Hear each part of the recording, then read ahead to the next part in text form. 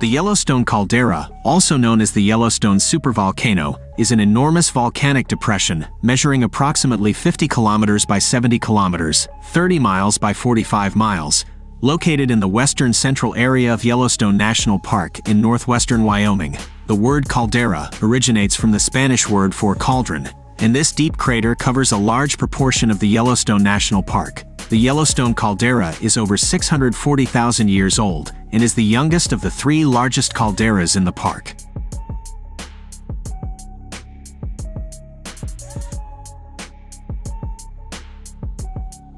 Around 66 millions ago, in the Cenozoic era, extensive volcanic activity, glaciation, and widespread mountain forming shaped the region. This included the formation of the Absaroka Range along the current park's north and east sides. Around 16.5 million years ago, a period of intense volcanism began near the borders of present-day Nevada, Oregon, and Idaho, causing widespread volcanic eruptions. As the North American plate moved southwest over a shallow body of magma, a 500-mile trail of more than 100 calderas was created.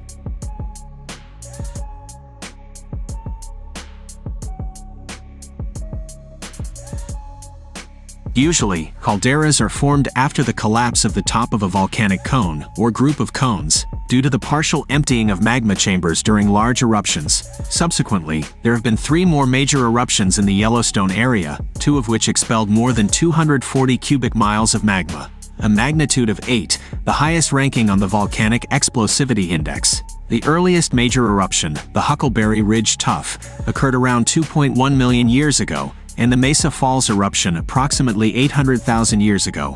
The Lava Creek eruption led to the formation of the Yellowstone caldera 640,000 years ago.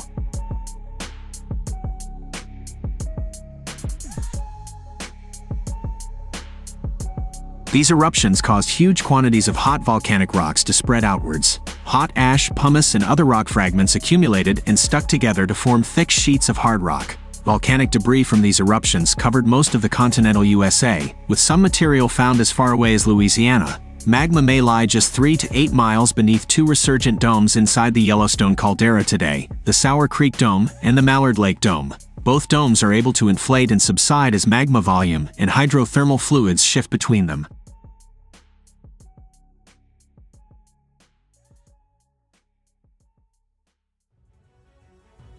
Over the past century, the caldera floor has tilted to the south due to net inflation, causing trees in Yellowstone Lake's southern shores to stand in water, and a sandy beach to form at the north end of the lake.